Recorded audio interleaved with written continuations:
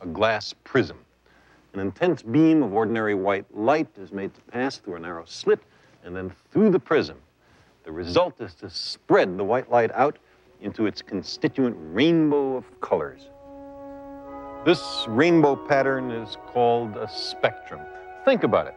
White light enters the prism. What comes out of the prism is colored light. Lots of colors. Where did they come from? They must have been hiding in the white light. White light must be a mixture of many colors. Here we see the spectrum running from violet, blue, green, yellow, orange to red.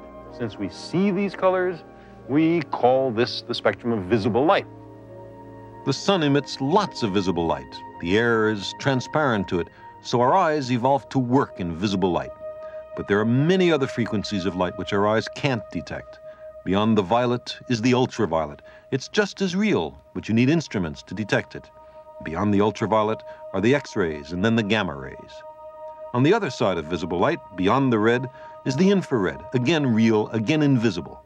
Beyond the infrared are the radio waves. Now, this entire range from the gamma rays way over there to the radio waves all the way over here are simply hmm. different kinds of light. They differ only in the frequency. They're all useful, by the way, in astronomy. But because of limitations of our eyes, we have a prejudice, a bias, a chauvinism to this tiny rainbow band of visible light. Now, a spectrum can be used in a simple and elegant way to determine the chemical composition of the atmosphere of some distant planet or star.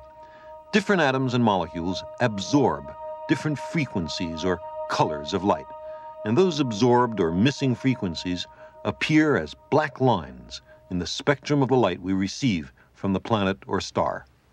Each and every substance has a characteristic fingerprint, a spectral signature, which permits it to be detected over a great distance.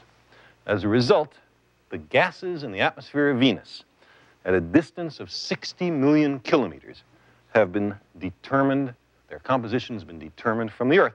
It's amazing to me still. We can tell what a thing is made out of at an enormous distance away without ever touching it. Our eyes can't see in the near infrared part of the spectrum, but our instruments can.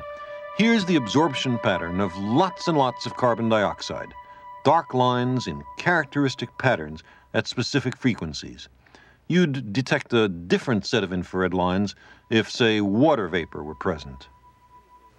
If Venus were really soaking wet, then you should be able to determine that by finding the pattern of water vapor in its atmosphere. But around 1920, when this experiment was first performed, it was found that the Venus atmosphere seemed to have not a hint, not a smidgen, not a trace of water vapor above the clouds. And so instead of a swampy, soaking wet surface, it was suggested that Venus was bone dry, a desert planet with clouds composed of fine silicate dust.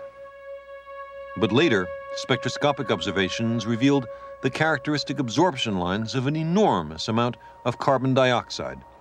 So, some scientists thought there must be lots of carbon compounds on the surface, making this a planet covered with petroleum. Others agreed that the atmosphere was dry but thought the surface was wet. With all that CO2, it had to be carbonated water. Venus, they thought, was covered with a vast ocean of seltzer.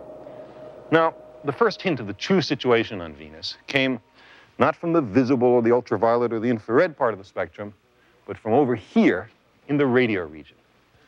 We're used to the idea of radio signals from intelligent life, or at least semi-intelligent life, I mean, radio and television stations, but there are all kinds of reasons why natural objects should emit radio waves.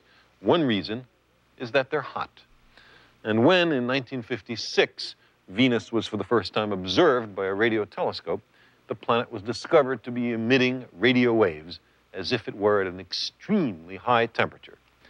But the real demonstration that the surface of Venus was astonishingly hot came when the first spacecraft penetrated the obscuring clouds of Venus and slowly settled on the surface of the nearest planet.